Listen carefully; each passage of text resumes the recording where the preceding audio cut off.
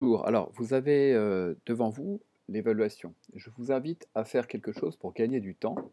Vous avez en fait, comme vous pouvez le voir, je vais vous montrer à quoi ressemble votre évaluation. Vous avez un texte qui est le premier exercice avec des mots en rouge. Gilbert allait le coup tendu.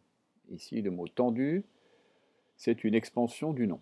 Vous devez identifier chaque expansion du nom signalé en rouge. Ici, il faut dire ce que c'est, à chaque fois. Donc c'est pas très compliqué normalement si vous avez bien suivi ce qu'on a fait jusque-là. Pour répondre à la question, il suffit de descendre dans le questionnaire et de sélectionner la bonne réponse. Voilà, il suffit de cliquer dessus sur celle qui vous intéresse, celle que vous pensez être la réponse juste, et ça s'enregistre. Par exemple, là, je mets ça et passe à la question suivante. Donc, ce, qu'il, ce qui va se passer, c'est qu'au bout d'un moment, vous allez descendre et puis vous n'avez plus le texte. Alors, ce que je vous recommande de faire pour gagner du temps, c'est quand vous êtes dans euh, la consigne Classroom, ouvrez le fichier en parallèle, tac, vous le téléchargez sur votre disque dur, vous l'ouvrez dans une autre fenêtre, et comme ça, vous pouvez basculer d'une fenêtre à l'autre en utilisant les onglets ça va plus vite que de remonter à chaque fois dans tout le truc. Ça, c'est le conseil que je vous donne.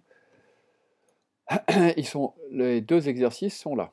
Voilà, donc vous ouvrez l'exercice et vous pouvez, euh, si c'est l'exercice 2, vous cliquez dessus, vous voyez que l'image s'affiche et c'est beaucoup plus facile après de passer au questionnaire en descendant, en descendant, en descendant. Parce que là, il apparaît pour vous le rappeler. Mais euh, après, c'est long d'aller chercher tout en bas et de remonter à chaque fois, c'est un petit peu pénible. Alors si c'est juste dans un nouvel onglet, dans votre un onglet parallèle, il suffit de cliquer sur l'onglet, de, de revenir à votre onglet, on prend vite l'habitude et c'est efficace. Pour l'exercice 2, faites très attention. Vous devez relever pour chaque nom souligné en rouge son ou ses expansions, mais il faut recopier uniquement l'expansion, exactement comme dans le texte. Si par exemple, j'écris, alors vous ne pouvez pas faire de copier-coller malheureusement, parce que c'est de l'image. Mais donc ce que vous pouvez faire, c'est de faire très attention en écrivant. Si par exemple ici, je vous donne un exemple, euh, l'expansion de trésor ici, c'est caché dans tous les coins.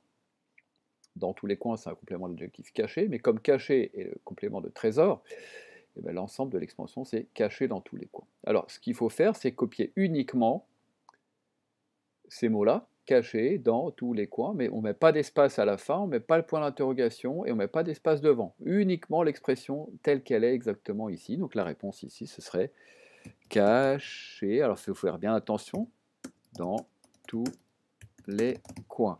Certains me disent ah je peux pas mettre les accents. Bah, c'est un petit peu comme si vous disiez euh, voilà j'ai un pantalon mais euh, en fait euh, j'ai une braguette avec mais je peux pas mettre la braguette, quoi. Donc ça, il faut, il faut vous débrouiller. J'ai mis, pour ceux qui ont du mal, un lien vers les codes qu'on utilise dans Windows, si jamais vous avez un, clavier sans accent, les codes qu'on utilise pour introduire les accents. Si ce n'est pas le cas, je vous conseille de les avoir en avance, quelque part pour pouvoir faire des copier-coller, mais il faut qu'il faut qu'il y ait les accents, sinon ça sera considéré comme faux parce que je ne vais pas m'amuser à programmer les réponses et mettre à chaque fois les réponses sans accent. Les accents font partie de la langue française, donc vous devez absolument avoir de quoi intégrer ces accents dans vos réponses.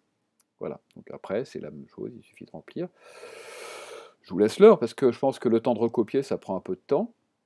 Voilà, deux exercices. Un exercice où vous devez trouver l'expansion, dire ce que c'est, hein, allez signaler. Un exercice où vous devez, cette fois-ci, euh, trouver vous-même les expansions sans forcément dire encore ce que c'est. Vous voyez que c'est une évaluation vraiment pour l'instant de niveau 1. On fera plus simple après. Puis à la fin, surtout, vous n'oubliez pas d'envoyer vos réponses.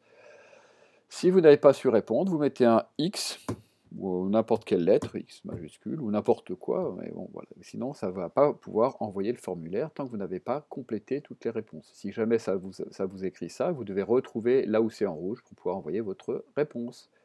Voilà, bon courage